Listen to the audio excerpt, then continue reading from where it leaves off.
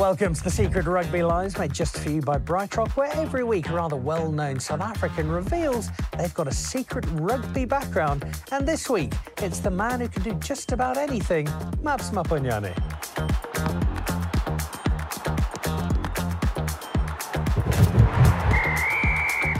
Well, this week, our secret rugby life is a man who's just annoyingly good at stuff. Because, Maps Maponyane, I remember the first time we played golf together was in a golf day. You shot 63, you won both long drives, and you won the day. uh, we played cricket together in a charity day. First delivery, you ambled up for a long run and almost knocked Albie Morkel's head off with a bouncer. I've seen you play football. You're even better than your dad was. Uh, I'm guessing that rugby is probably another one of these things that just comes effortlessly to you. I think I just, uh, you know, I've always loved rugby, but I think the element of that probably comes from the soccer side because I was kind of. I was in awe of players like Andrew Mehrtens and Carlos Spencer and um, and uh, Dan Carter and how how they were with the boot. And I figured, you know, this is something that required so much beautiful um, skill with, um, you know, uh, of course, with, with, with passing, but flair, and they came with so much beautiful flair, especially King Carlos.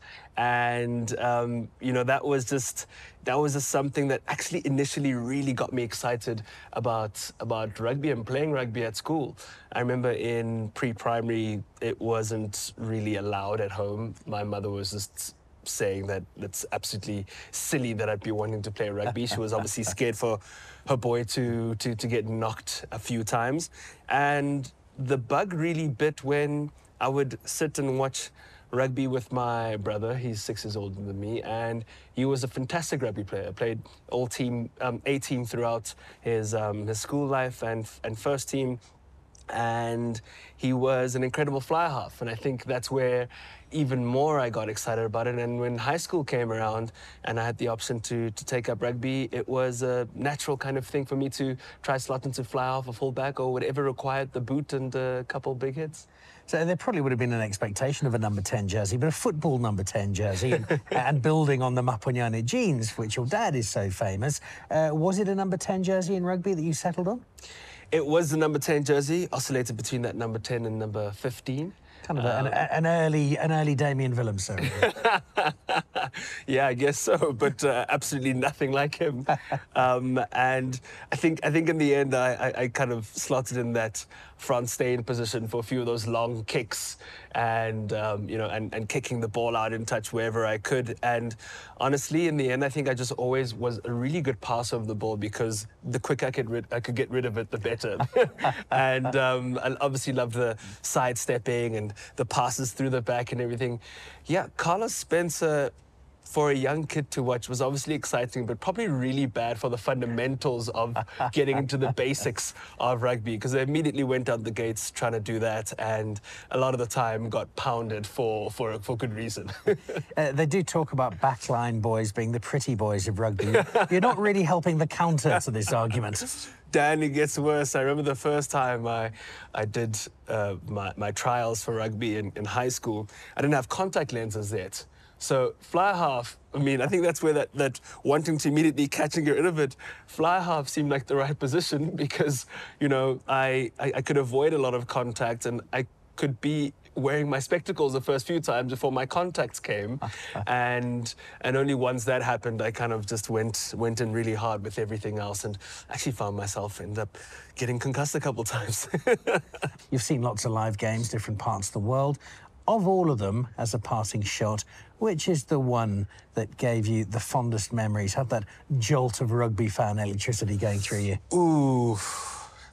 I remember being in New Zealand and in Wellington with everyone buzzing and the whole town all wearing their black and all feeling like it was going to be an easy defeat against the Springboks and getting to go to a couple of the conferences, the press conferences, and seeing South Africa really wanting to make sure that they don't just be seen as a pushover in that game and how they fought through that grit and being a group of you know, 50 South Africans in the crowd, losing our minds, and an absolute elation was, was an incredible experience. Talking about the rugby experiences that you've had, did I not see you sneaking on to the Springbok bus in that great 2019 countrywide celebration? I don't know about sneaking on, but you know, I was I was doing some work for uh, for one of the sponsors at the time, and you know, over the months leading up to the World Cup, got to engage with the players a lot and got quite a great rapport, and happened to um, you know have good relationships with a few of them and was then asked to kind of be a part of that tour and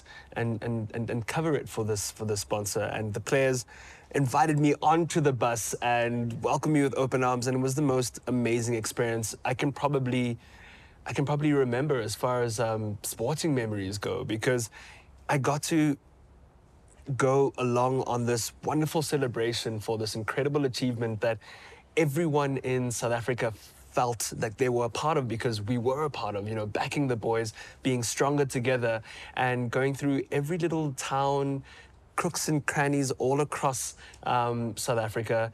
And it was, it was spectacular. Just being on that bus, going through towns where people were just crying, shouting, screaming. I think work stopped for everyone. It was kind of a, um, you know, an unspoken public holiday period for a good week with everyone celebrating. And I'll, I'll never forget people kind of banging on the buses, shouting, throwing up caps and balls to be signed.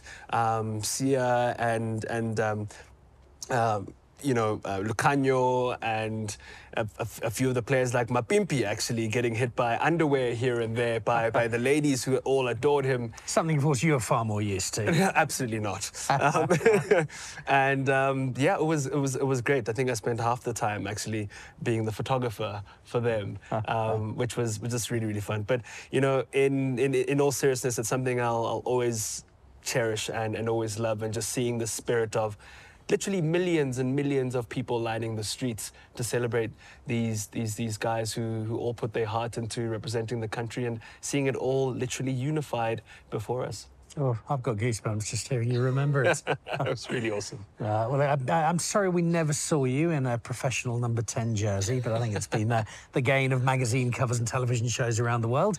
Uh, and I know we'll both be glued to our televisions and possibly even doing a bit of travel uh, this year as our shared love of rugby comes to the fore. Absolutely. So there we go. Yes, you know him as uh, uh, the star of assorted television shows and the cover of just about every magazine ever been published. But behind all of that, there's a man who loves his rugby and in a number 10 jersey for a while showed a fair bit of promise as well. The secret rugby life of Maps Maponyane, made just for you by BrightRock.